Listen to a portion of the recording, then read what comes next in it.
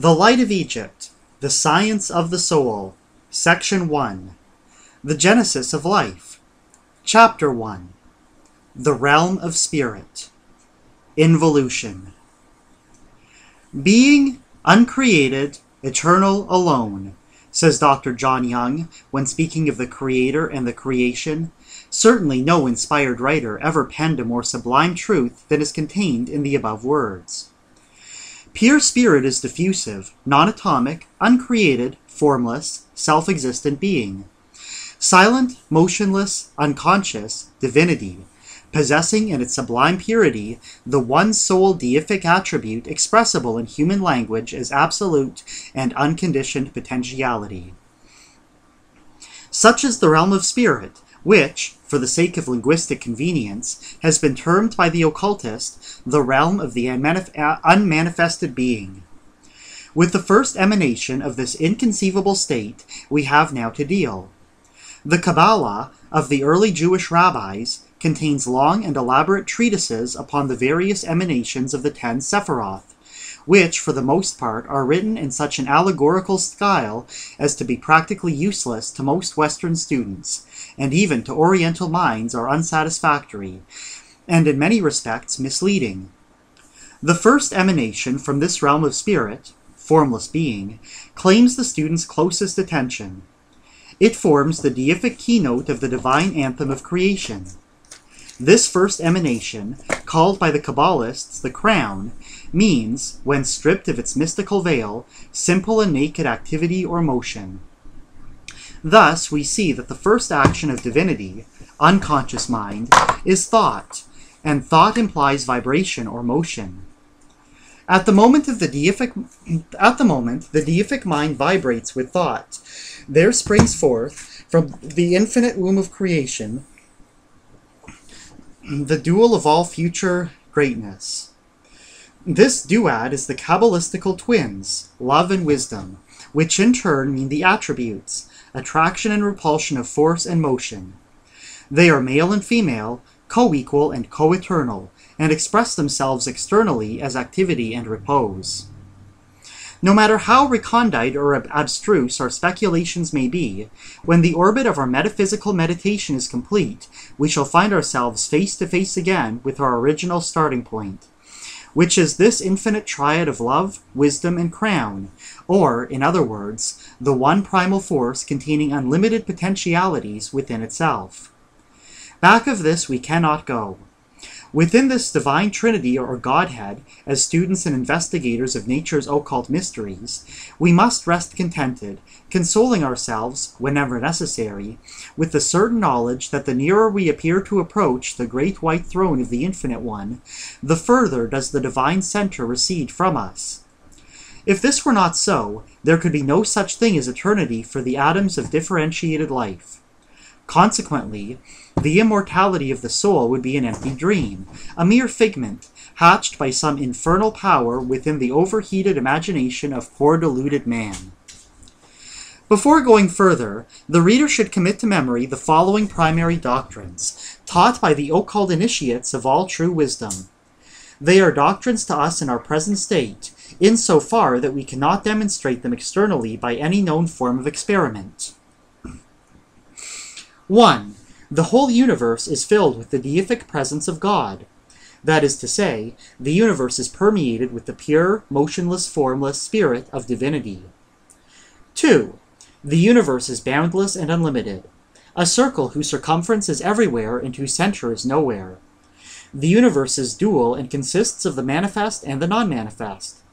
Hence, deity is progressive in his infinite scheme of spiritual unfoldment. 3.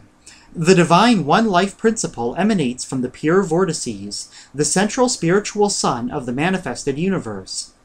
From this mighty, inconceivable center of life emanate the spiritual rays of the Father, scintillating with divine activity, whereupon the vast, motionless void, the awful universe of God's silent, formless spirit, becomes alive with an infinite number of subordinate universes which means the rays of divinity are brought to focus at various points in space. These points, or foci, form the spiritual centers of smaller universes. An example of this can be seen upon our material plane by observing that primary suns throw off a series of secondary suns. These secondary suns throw off planets, and the planets become the parents of moons. By the science of correspondence, as it is above, so it is below. Remember these facts. The divine purpose of creation is the differentiation of the unconscious formless one, and the grand outcome of this divine purpose is the ultimation of deific intelligences, separate minds reflecting the divine idea of the universal mind, conscious, individualized mentalities possessing immortal souls capable of eternal progression, who, as differentiated life atoms of the Creator, the grand arbiter of the whole, become themselves secondary creators and the arbitrators of the de- destinies of worlds. The processes of creation are dual and consist of involution and evolution. The one is inseparable from the other, Paradoxical as it may appear to the uninitiated, it is, nevertheless, a divine truth that the evolution and ultimation of spiritual life is accomplished by a strict process of involution, from the without to the within, from the infinitely great to the infinitely small. To better understand this mystery, we must have a recourse to a series of symbols. Accordingly, we conceive the divine focus of the primal essence as the spiritual center of a universe.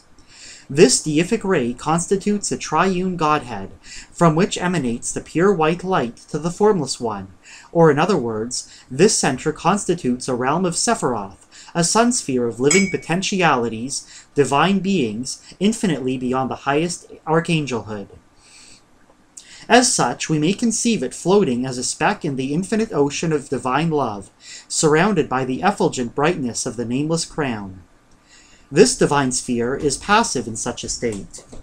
Nirvana reigns upon the blissful radiance of its motionless bosom. But the time now approaches when its mission in the scheme of creation must commence.